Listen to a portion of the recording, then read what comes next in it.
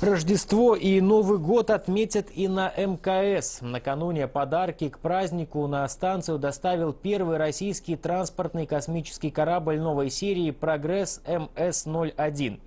Кроме рождественских и новогодних подарков экипажу, грузовик доставил на МКС около двух с половиной тонн багажа, в том числе сухие грузы, топливо, воду и сжатый кислород. Напомню, что корабль «Прогресс МС-01» 23 декабря с первой попытки пристыковался к Международной космической станции в автоматическом режиме.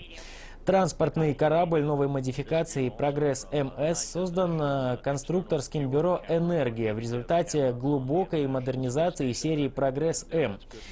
Большинство технических решений, заложенных в конструкцию прогресса МС, будут впоследствии использованы при создании пилотируемого транспортного корабля нового поколения.